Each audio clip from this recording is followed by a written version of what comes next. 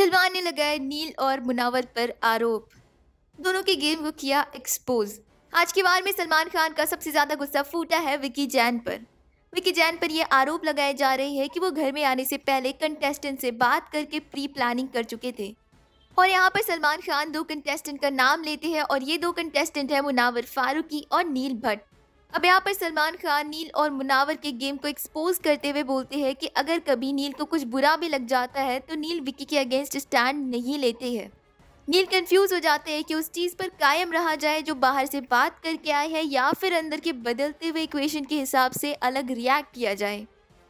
वही सलमान खान ने मुनावर से कहा कि अगर मुनावर को कभी कुछ चीज़ बुरा लग जाता है तो वो उस तरीके से स्टैंड नहीं लेते जैसा उन्हें लेना चाहिए। मनारा सलमान खान की इस बात से एग्री करती है कि मुनावर विकी के अगेंस्ट स्टैंड नहीं लेते हैं? विकी और नील बोलते हैं कि अगर हम ये डिस्कस पहले ही करके आए होते तो हमारे बीच में कभी फाइट होती ही नहीं। वही मुनावर मनारा से बात करते हुए नज़र आए और उन्होंने कहा कि जो कुछ भी विकी के लिए है वो बस रिस्पेक्ट की वजह से है।